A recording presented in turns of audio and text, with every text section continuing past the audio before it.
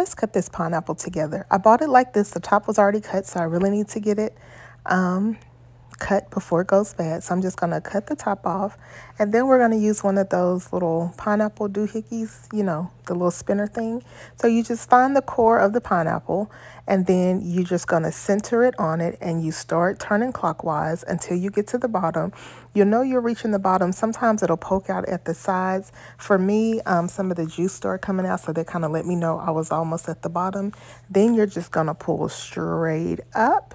You take the top off you flip it over and then you have the pineapple. You can cut it like you want. Some of them come with this little, like an apple core. Plastic ones don't work quite as well. I have a metal one. You can also use that.